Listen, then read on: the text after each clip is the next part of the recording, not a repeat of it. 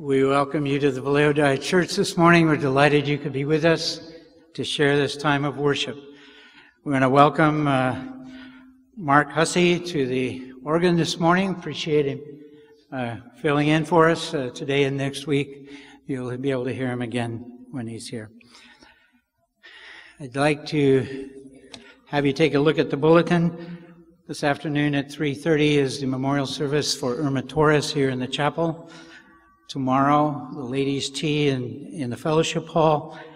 And uh, we want to thank the Kelly and Marina for the special job they did with the kids as well. There are a number of announcements to take note of.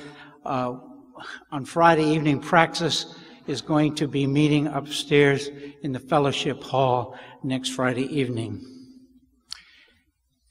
I'd like to, at this time, invite to the pulpit Ladd Thomas, John St. Marie, and Liz Remboldt.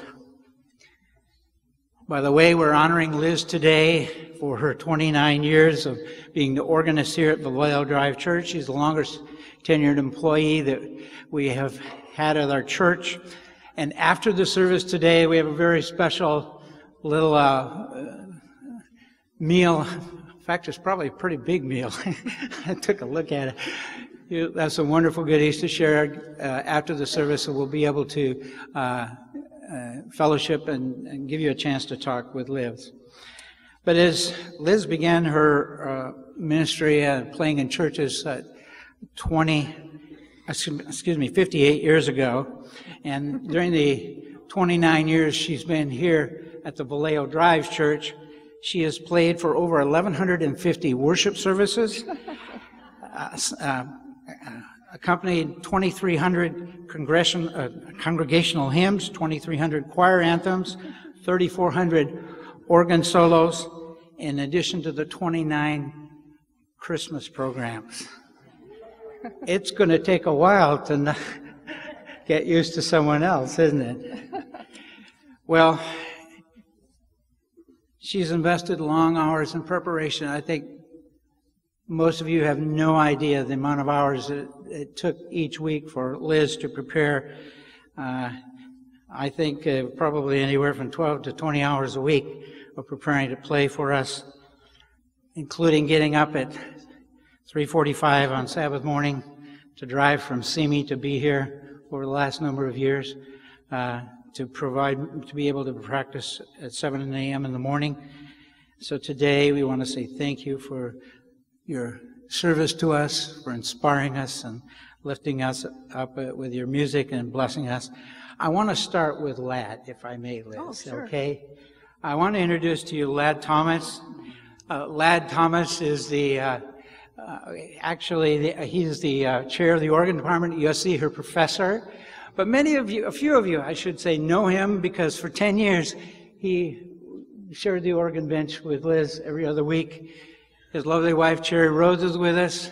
These two individuals have both been uh, honored internationally with Lifetime Achievement Awards for the Organist Guild. And for him, who is, uh, who is the organist for 58 years at our sister church here in town, our, our fellow Methodist church here in town, guess who we had for his backup organist over 30 years? Liz Remboldt. Now that says something about the quality and, of her music and the respect that they have for it. Ladd, share a few words with us. Thank you, Mark. It's wonderful to be back here with so many of you and to be here today, Liz, to honor you for the terrific ministry and work that you have had, not only in this place, but throughout so much of the country. And you have really served so beautifully and so well and so meaningfully to so many people. One of the things that struck me here during our 10 years was the email address of this church graceunconditional.com. I truly learned the meaning of unconditional love when I was privileged for 10 years to be in this place with all of you, and together we were in ministry together. And Liz, I want to thank you so much for the invitation to come here and work with all of you. That was when Liz and Darwin, you know, Darwin was always going somewhere, and they moved up to Hanford. And Liz says, I just can't drive that every week. Would you help me for a couple of months? And two months stayed in the 10 wonderful years. And, you know, this idea of unconditional love, central to our theology, isn't it? And it was central, and it is central to Liz's life, because that is how she has ministered to all of us. Liz, you've done this with a beautiful, unconditional love. And I saw this very clearly when we first met, and I had the privilege of offering some suggestions as a teacher of organ for this beautiful lady. And she came with a love of music that was contagious. I was bitten at that point. And it was absolutely contagious and beautiful. And she was diligent. She worked hard. She was determined. She was devoted. She gave of herself. And I always thought, Liz, you're going to have a beautiful ministry with this music because you love it so much. And that love is unconditionally given. And you just were always just there with a love of and seeking to fully understand what the composer was saying to us, what they were wanting us to understand, what they were wanting us to give. And it was about the music, it was not about yourself. And that is the most beautiful thing, isn't it? When we pour ourselves into this beautiful gift that has been given to us by composers. And a second thing that stands to me so much about Liz is her willingness to get in there for what she believes. She never hesitated, and she always came with absolute conviction. She studied, understood, and then she came with conviction.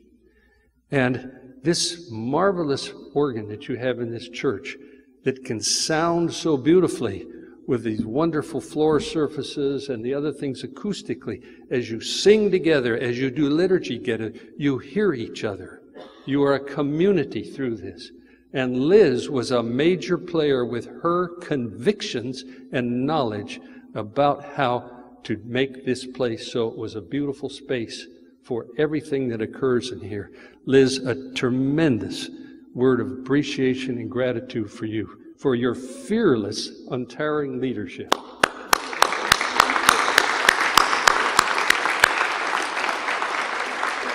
And then we would say one other thing. There's so many I could say, but this, after all, is a service.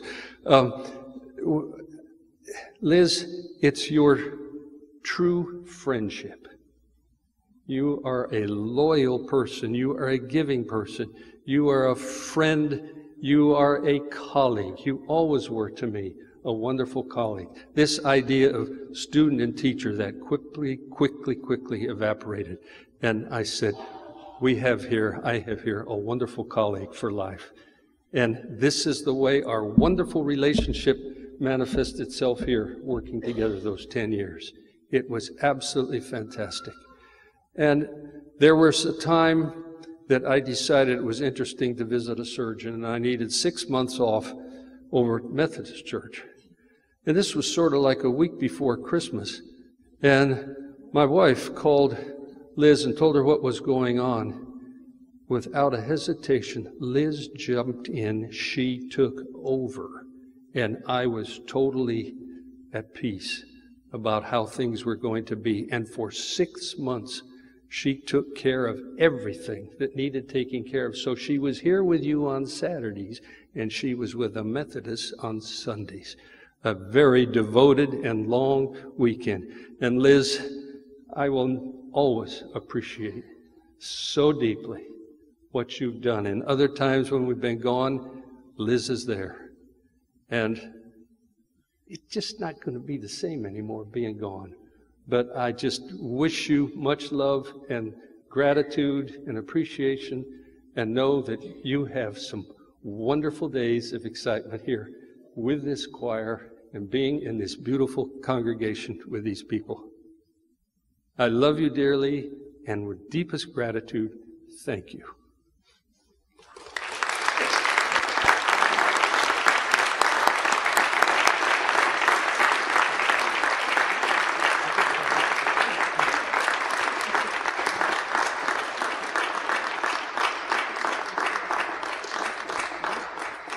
One, of the works of the organist is to accompany the choir, and John St. Marie will share some thoughts on that. I came about five and a half years ago to sub for Brenda Moore, who was here at the time, and I didn't know that she was leaving. Um, and this is the first time I met Liz Remboldt. And she was so enthusiastic and so, such a beautiful, warm heart from the very beginning. And when I finished the rehearsal, she came up to me and just was so enthusiastic and so excited about um, what she thought I brought out in the music. And I was so impressed by her and by her playing. It was a really an amazing uh, morning, and I was so fortunate to be able to be called here and to worship with you every week. Um, when I started my first Sabbath, you know, we always have the choir's uh, retreat where we start to prepare the Christmas music. So Liz and I had worked for a while to choose the music. And in my first uh, rehearsal, I put something in front of her that was in all multimeters, and it was really tough to play. And I had I had performed it before with other people, and they all had trouble with the same page every time. And no matter how hard we worked at it, uh, it never seemed to line up very well. And a testament to Liz, the very first time we went through it, it was perfect. It was, and and I, I've never experienced that again, except for in the concert that year. Um, she just brings such a dedication and professionality to what she does every week. She takes it so seriously, and it's so meaningful to her. She puts in, as as Mark said, so many hours of practice, and she chooses each piece with such thoughtful devotion because she wants to make um, services here a worshipful space. And she's done this for 29 years. She has been, excuse me, a wonderful collaborator. Someone who has inspired me.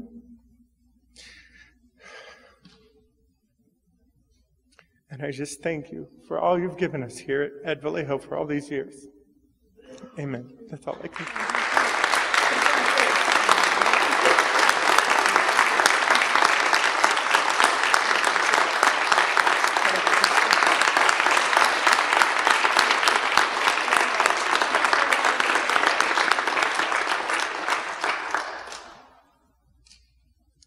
Morning.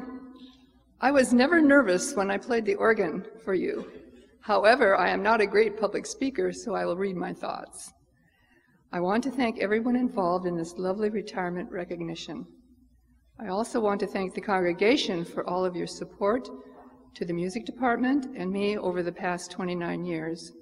I could not have played for you for 29 years without your support, the support of the pastoral staff, the choir directors, and finally, the choir. I have enjoyed every Sabbath and special program. I never minded commuting long distances. For over 10 years, I drove from Hanford, California, just south of Fresno. For seven years, I drove from Santa Maria, just south of San Luis Obispo. And for the past 12 years, I commuted from Simi Valley. I will desperately miss playing the organ, but I look forward to singing in the choir. Vin Scully, famed Dodger announcer, on his last broadcast after 67 years stated, Don't be sad that it is over, be glad that it happened. I'm very glad that the last 29 years happened.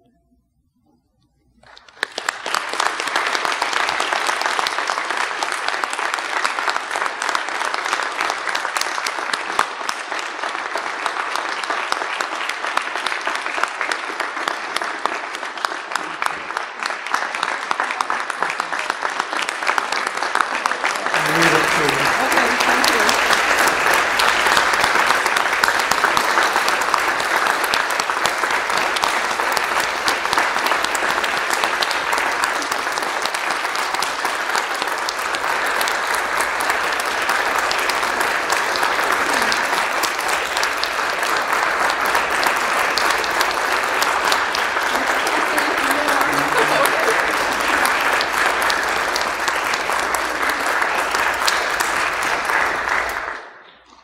We have this plaque that uh, will give Liz to hang on her wall at home.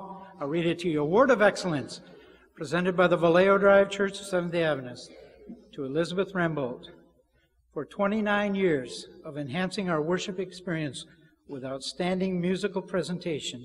You have blessed us with inspiring organ and piano accompaniment, uplifting preludes and rousing postludes that revitalize our spirits. We thank you for the long hours of preparation, your regular weekly faithfulness, and the excellent musical contributions that you have played for our church family. Thank you.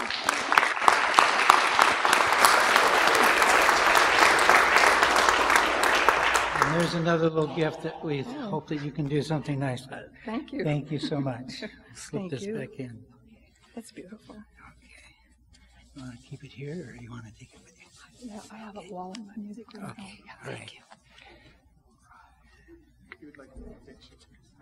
Oh, okay, they want to get a picture here. Oh.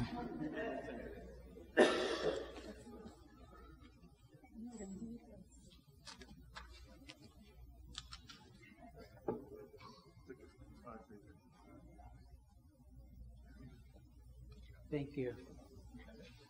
Okay, the children's choir will bless us with some music now.